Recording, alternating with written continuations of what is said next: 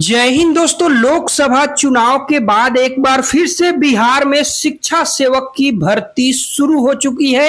यानी टोला सेवक की भर्ती शुरू हो चुकी है। दोस्तों, इससे पहले भी आपको टोला सेवक भर्ती के लिए मैं वीडियो बनाया था, जो कि यही पेपर के कटिंग था। राज्य में आपको पच्चीस शिक्षा सेवक की भर्ती होगी, जो कि दोस्तों, बहुत से ज़िले में अब लोकसभा चुनाव के बाद आपको शुरू हो चुका है। क्योंकि दोस्तों, लोकसभा चुनाव में आचार संहिता लगा था जिसके कारण भर्ती रुक गई थी, लेकिन दोस्तों, बहुत से ज़िले में शुरू हो चुका है। तो कैसे आप चेक कर सकते हैं कि आपके ज़िले में यह भर्ती शुरू हुआ है कि नहीं हुआ है? नोटिफिकेशन आया है कि नहीं आया है? कैसे चेक कर सकते हैं? पूरी जानकारी बताने वाला हूँ। साथ में यह भी बताने वाला हूँ कि कौन से ज़िले में अभी भर्ती के लिए आवेदन मांगा जा रहा है। आपको नोटिफिकेशन आ चुका है। पूरी डिटेल में दोस्तों जानकारी शेयर करने वाला हूँ। वीडियो को शुरू से लेकर लास्ट तक वॉच करें। अगर मेरे चैनल पर आप नए हैं तो चैनल को सब्सक्राइब करके दोस्तों के साथ भी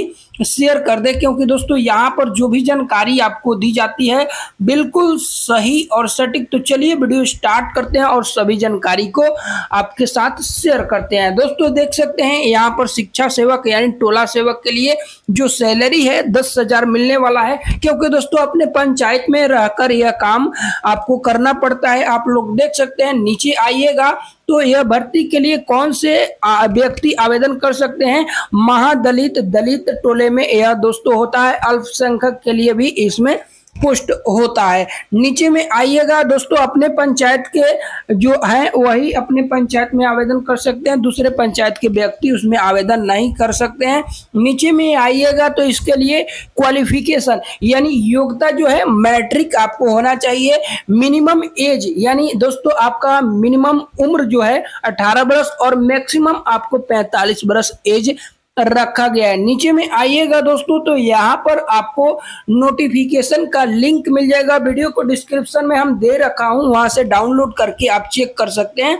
जैसे ही दोस्तों यहाँ पर चेक कीजिएगा तो देखिए, यहाँ पर जितने भी बिहार के ज़िले हैं, जैसे कि अररिया, अरवल, औरंगाबाद, बांका बेगूसराय, भागलपुर, भोजपुर, बक्सर, दरभंगा, सभी जिला दोस्तों आ जाएगा। आप जो भी ज़िले से आते हैं, सिंपल सा दोस्तों आपको क्लिक करना है। जैसे अभी यहाँ पर पूर्वी चंपारण में भर्ती आ चुका है नोटिफिकेशन जारी किया गया तो यहाँ पर हम क्लिक करते हैं।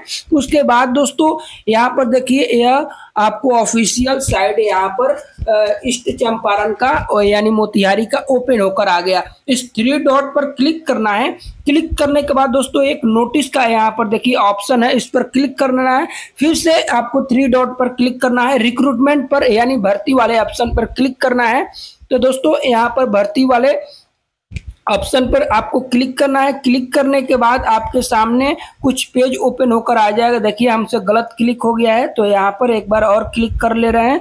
देखिए दोस्तों, यहाँ पर ओपन होकर आ गया यह नोटिफिकेशन यहाँ पर पीडीएफ का लिंक है, जो कि 416 केबी का यह पीडीएफ है। इस पर हम क्लिक करते हैं और देखते हैं इस नोटिफिकेशन में क्या क्या दिया गया है। तो दोस्तों, देख सकते हैं, यहाँ पर इस नोटिफिकेशन के जारी किया गया है। यहाँ पर दोस्तों, आपको जो चयन हेतु वर्क कैलेंडर है, नीचे में मिल जाएगा। आप लोग देख सकते हैं कैसे कैसे इसमें चयन प्रक्रिया होगा, आपको कैसे आवेदन करना है, सब कुछ दिया गया है।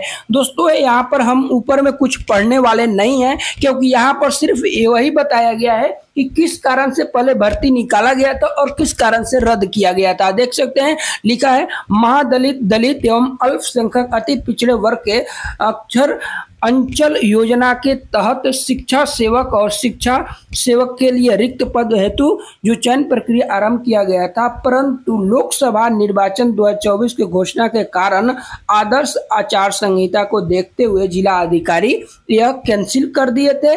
लेकिन दोस्तों, पुनः आपको यह भर्ती शुरू हो चुका है, जिसका कैलेंडर नीचे जारी किया गया है। तो नीचे जैसे आइएगा कैलेंडर में तो यहाँ पर देखिए दोस्तों, आपको मैं चलिए यहाँ पर टिक करके बता रहा हूँ कि अच्छा से समझ में आपको आ जाए दोस्तों, क्योंकि आपको समझ में आना बेहद ज़रूरी है। देखिए, यहाँ आवेदन प्राप्त करने का। तो दोस्तों, आवेदन कैसे मिलेगा? यहाँ पर देखिएगा दोस्तों तो आपके सामने मिल जाएगा। विद्यालय में जाना है और प्रधानाध्यापक से संपर्क करना है, वहीं पर आवेदन मिलेगा, जो कि इसका जमा करने की तिथि 20 जून से लेकर 24 जून तक आपको यहाँ पर रखा गया है। और उसके बाद दोस्तों, यहाँ पर प्रखंड विकास पदाधिकारी एवं संबंधित विद्यालय के प्रधानाध्यापक के पास, दोस्तों, यह सब कुछ मिलने वाला है। सेकंड नंबर में, दोस्तों, देख सकते हैं मेगा अंक के गणना। यानी, दोस्तों, जो चयन प्रक्रिया है, यहाँ से स्टार्ट होगा, जो कि आपके नंबर बेसिस पर यहाँ पर भर्ती होता है।